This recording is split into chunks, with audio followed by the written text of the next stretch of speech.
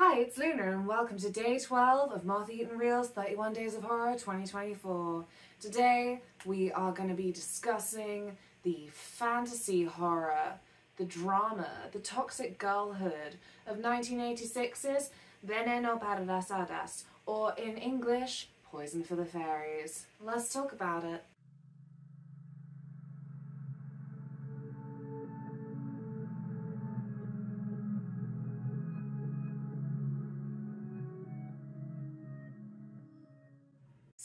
Immediately we can talk about framing because is it that a lonely young girl falls under the spell of a domineering classmate or a lonely young orphan clings to the friendship of a new rich girl, her only sanctuary from bullying and the isolation of her home life?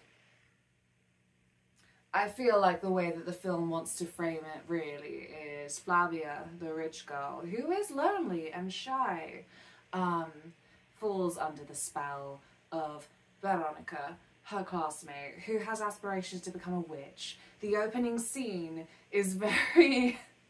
it's very cheesy, it's very 80s. So, um, one thing to say is that the story is set in the 60s and it is in Mexico. The young girl, Veronica, who uh, is the witch of the scenario, is then shown to us in a scene that trivia was apparently cut from a fair few showings. It's black and white. she comes in with a candle and she cuts the throat of her nana. And it's then that the blood is all red. It's very cute, but also I only say it's cute because the effects are what they are and I said they reminded me of kind of a, a media project from like, you know, your final school years in high school. But I feel as well that as much as the film ultimately kind of like well, in general, rather, I should say, not ultimately, in general seems to side with Flavia. Um, Veronica is the first POV that we get. She's uh, being told fairy tales from her nana because she is an orphan. Both of her parents are dead. She lives with her nanny and her grandma. And her nanny tells her fairy tales that her mother left her. And the first one that she hears, before we kind of get the opening credits, is about a witch. And she says something along the lines of like, what can a witch do? And her nanny says like, a witch can do whatever she wants. And that's it. Veronica is then on that. Like, why is that not then a goal? A, to be a witch, to do whatever she wants. And we we have these dorky effects again as part of the opening credits where it's kind of almost a still of her aging into a Halloween shop style witch. And I I want to say that the Halloween effects carry on throughout this film in a way that really gives and really takes away. Like they're definitely more of a feature than a bug, but there's a lot of moments that it kind of brings it down to a level where I'm I'm invested in the drama of the friendship, the toxicity between these two little girls, and then ah Halloween witch cackle. like okay, okay. Because definitely something that I wanted going into this film was a kind of relived experience of Jacqueline Wilson books. Um, for those of you not in the know, she frequently explored a kind of darker side of being a young girl in a friendship with codependency and kind of like a power struggle, but within that realm that is special and unique, where as a child, you obviously are in that weird phase between kind of being responsible and not responsible for your actions and the kind of cruelty that that entails. Um, you know, frequently child cruelty is still then something that pops up in horror as a sticky issue. Even then, obviously, in law, it's a sticky issue. It's something that is then horrific because obviously there is then this kind of um, image of children as immaculate, kind of a, a kind of in innocence that can't be touched. But obviously that's then the debate of like what age do you know that a child knows what they're doing? And especially i think for little girls it's then very interesting being you know brought up and socialized as a girl. There is then just an extra layer of codification to behavior and interactions where just a lot of toxicity pops up I feel like a lot of girls know someone growing up who didn't have a friend more than they had a pet or a project. It's a lot. It's sticky. It's interesting. It is then fun for the drama in a movie. So, the plot.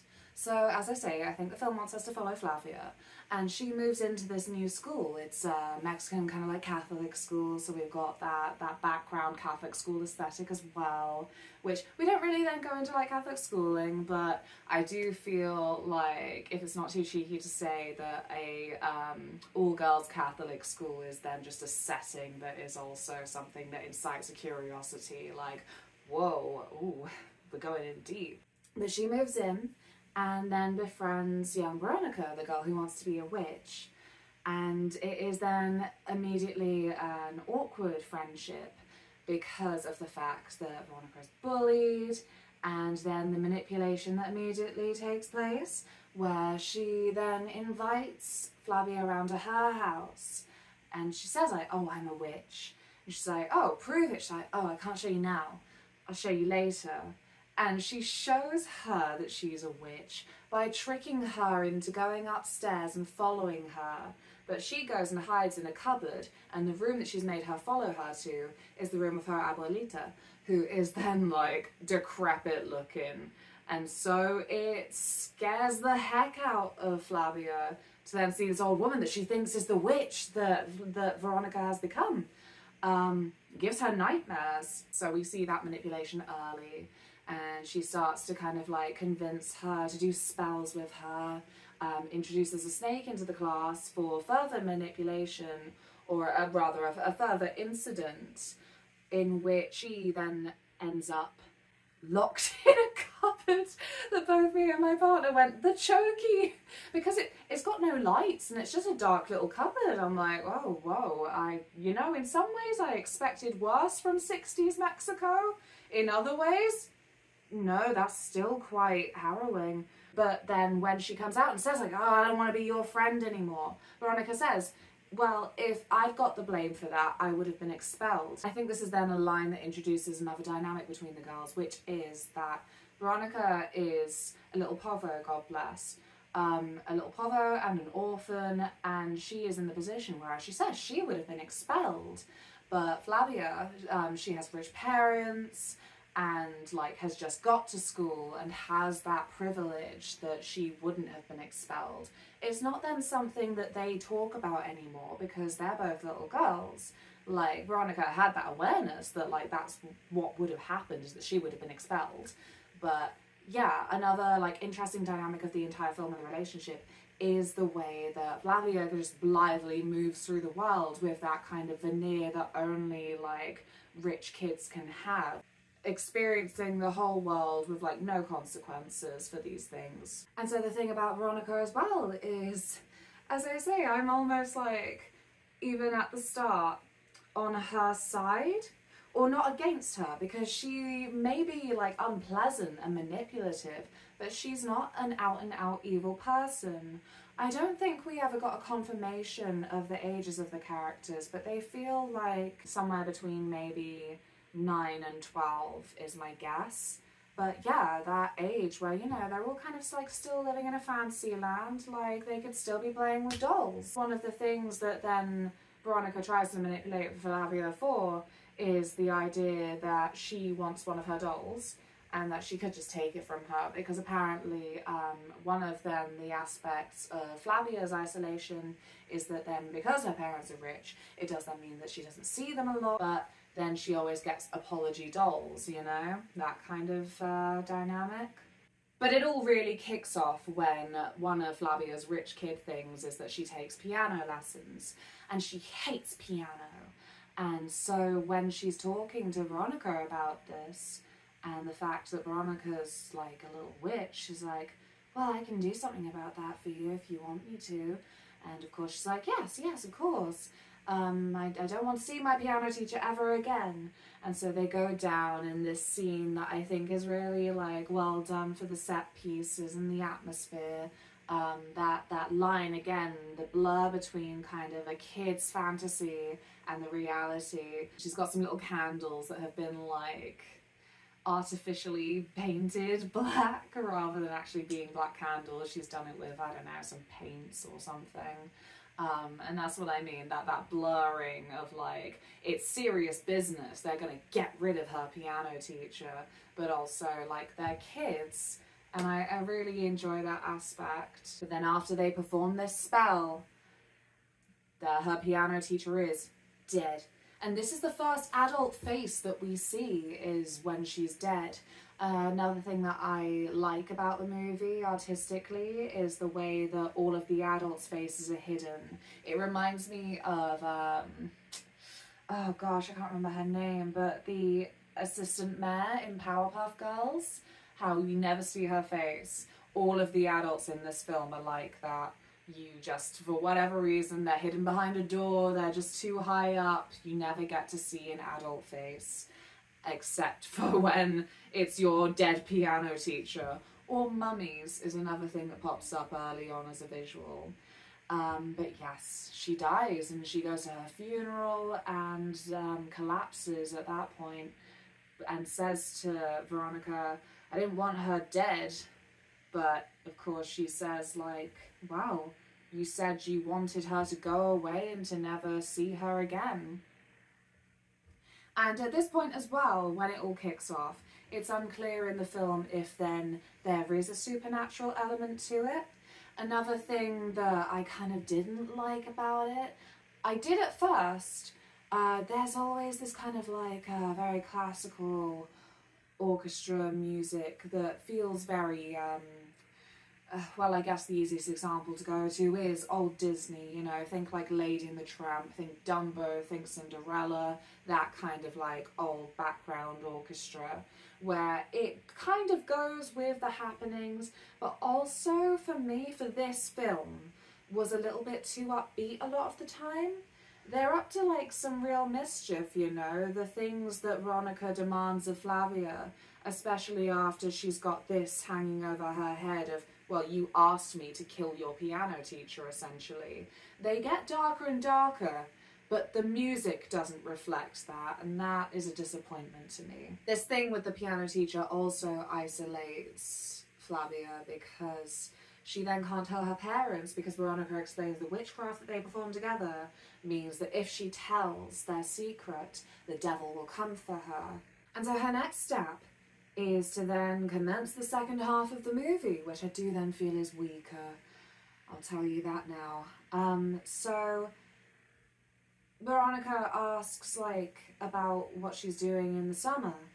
Flavia says like, oh, we've we've got a whole farm that we own, you know. Again, she's got that kind of like blithe unawareness about how rich she is, and because they're kids, you don't blame her for it. It is just like they're very like the pair of them are both in that awkward phase of like neither of them are guilty because they're both children. But then she's asking like, oh well then like can can I come to the farm with you? And she's like, no, nobody can ever, nobody ever comes with us. My dad doesn't allow that. We don't get any blowout from this when she's like, okay, but you know, I'll have to tell them about the piano teacher and all of the other things. And so she does then end up going on holiday to this big old farm with them. And it's it's a really beautiful place. It's like got a got another opportunity for like some nice set design. I liked in the first half of the film though that there was like a lot of kind of um,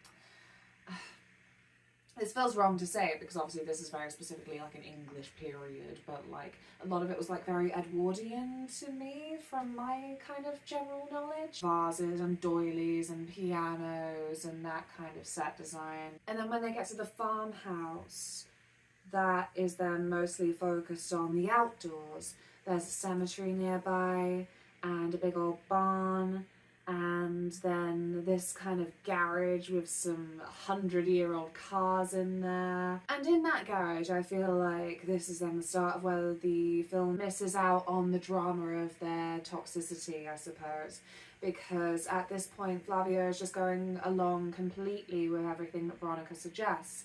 And in this garage kind of area with the old carts, she spots this pot on the wall. and She says, No, it's a cauldron. As they take that away to the barn, stash it with the hay bales, and then go on just like this general quest for various little bits and bobs from creatures to make a spell to make poison for the fairies. They're collecting lizard's tails and spiders and toads and it's in these moments that apparently Flavia lets Veronica down because she wants everything to be secret.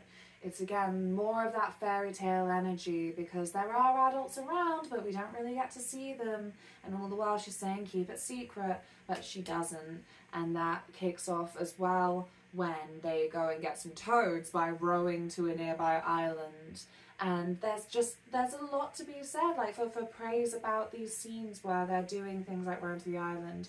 You would think, or I thought watching this film, that it would be another scene that felt like poorly edited, goofy 80s effects because of some of the previous 80s effects, but because of that, it, it, had me looking specifically at the scene where they're rowing to the island, waiting for that kind of effect of, oh, there's obviously a green screen behind them and they're rowing not in time. But they did seem to be rowing more in time than I would have expected. And yeah, like these close scenes where just they're alone together because like they have to be. It wasn't then textual, but it felt part of that subtext of like that power dynamic between the two of them there was a push and pull there. As much as Flavia is very innocent with the power that she does have potentially over Veronica, like it felt equaled out in those moments in the farmland. Um, but yes, when they get there, we do then have Flavia using that power over Veronica. There's a point where the boat is about to flow away and they're about to be trapped on this island together, but Veronica goes straight for that boat and then she pulls it back and is like, I did it, we're safe. And then Flavia starts laughing at her. Why? Because obviously running for this boat right by the shore, her white stockings are then completely muddy, and that's what she's laughing at. And it feels deeper specifically because we know that, well, she's then poor and she's then rich. When they're being cleaned up later and, you know, scolded, um, Flavia then tells the nearest adult what they were doing and what they were looking for, and so Veronica is not happy with that. And then one of the major breaking points is that they go get some grave dirt from the cemetery at midnight, and that seems to be Flavia's breaking point. The point where she says, No, I won't. But something convinces her in the end that maybe they shouldn't. So they go and we get like a little bit of a jump scare because we're in the kids' world, you know? And as I said, you don't see adult faces unless they're dead. And so when then Flavia gets a little touch on the shoulder and oh they've been caught, it's it's actually kind of like, oh, oh no, oh no, I'm sorry. I'm sorry, parent. That means they get led back and then like she gets scolded by her dad. But then this is again another thing about the the world that Flavia inhabits. Like she's not really punished. She just gets a we'll talk about it in the morning. They don't talk about it in the morning. And then the next day, her dad is going off a business and is just like very normal to her. It's just like, oh, I've got to go away for a little while, princess. Like, you don't really care. She's not really punished. But as a result of this, because again, she was just blunt, says like, we were getting grave dirt. Veronica's like, shouldn't have told him that. This is supposed to be our secret. I don't trust you anymore. You can't do the spell with me. Don't talk to me anymore. Not for the rest of the trip. Um, and there's a visual shot that I quite like where then Veronica is on a swing in this kind of like natural tunnel formed by trees. Um, it's nice. I like it. I think that that was like quite an awesome location to do that because of the circle and the tree and the swinging.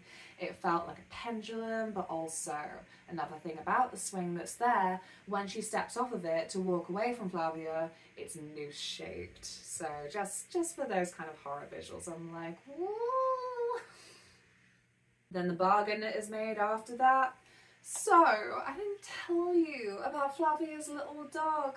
He's called Heapy, and he's like a little cocker spaniel looking thing. He's got black fur, and he's adorable. I'm just, I'm just a dog lover. I don't, I don't know what you want from me. As Flavia is like desperately trying to cling to, to, to Veronica's approval, friendship, involvement, um, Veronica says like, oh, well, you know, give me Hippie. G- g- give him to me. Um, your dad will just get you another one anyway. And at this point, because of the things you've seen them do, you're like, what are you gonna do to Hippie? No, don't don't give Veronica Hippie. He's a little boy. But fear not, friends. Veronica does nothing bad to Hippie. But it's a little bit of a haunting line in a way by the end to her saying your dad will just get you another one anyway. Because in a way you feel like Flavia took this on board.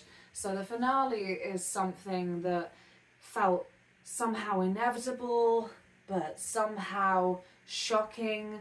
And in a way the twist wasn't a twist because the twist was rich people are bastards. So they go to the barn where the cauldron's been kept and then we have there's another one of the bloody 80s Halloween shop effects as uh, Veronica is stirring the cauldron and we get a shadow of then like your standard like I said stereotypical witch with then just like a little cackle happening as well like for God's sake.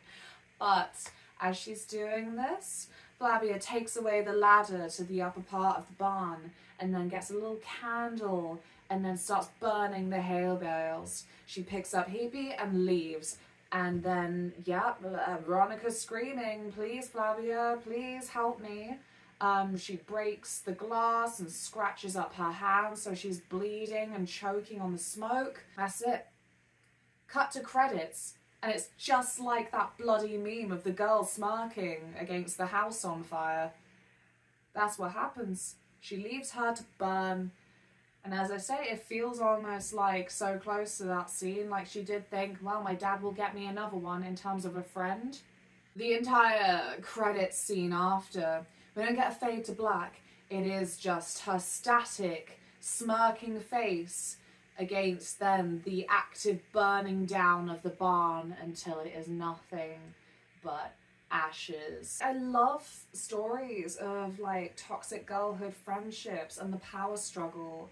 I think the things that disappointed me were maybe the ways in which the toxicity like didn't go that far in some ways. A lot of it felt like it was quite eased into in a way that didn't feel like it was really creating any kind of like heart gripping tension between either of the girls. Because one of the things that is often engaging about this dynamic to me, as then someone who grew up on Jacqueline Wilson, is then just, yeah, how high emotions can run when child cruelty is then something that just pops up so casually because no one can be as casually cruel as children sometimes, I swear. Approaching it as an adult, it's so difficult because they're children, like, they don't then deserve full blame, but also it's alarming the cruelty that then they've been taught or have they been taught part of then the other horror aspect is how much of that is human nature that we can just be so flipping horrible to each other. And with that girlhood code the way that then that social netting is already being established the way that things can get so snaky and underhanded and shady and manipulative and yeah, as I say, funnily enough, I love to watch that dynamic as something that still draws me to a lot of period dramas. People are being horrible to each other, but again, and enmeshed in so much social coding that there's a lot of room for doubt and paranoia and just uncertainty that that's really what's happening. But you know it's what's happening. But do you know it's what's happening? I will say that I think that this film could have gone further down that road. In the second half, when I said it was disappointing me, it was along those lines of just it really slowed down with their ingredients gathering. And I think that at a guess, if there had been a third girl, if there'd been another aspect of the dynamic there that would have been served well by another child character, especially because of their dedication to keeping the adults out of it, which I really liked, but it meant that they really then needed to have more bite to them. Because I think we did spot that again, Flavia is then the new girl. She's like a very desirable new friend. And so there's a few of the girls at school who clearly like want to invite her to her group, where obviously Veronica is undesirable. People bully her and don't like her and know that her vibes are off. But yeah, the way that then that dynamic is at school, it's it's kind of left hanging, and so we don't have the idea of like any other friend coming along. And I I feel like a third wheel to this toxic friendship, to this fairy poison would have been like more interesting to me. I think we're going two and a half poisoned fairies out of five. A good two and a half poisoned fairies out of five. I think that this is then inevitably as then like a Mexican 80s Spanish language film, probably really underrated. Thank you for joining me for my too late call to Childline. Um, I hope you'll join me next time where we are cordially invited to day 13 of 31 Days of Horror in little old England. I'll see you then.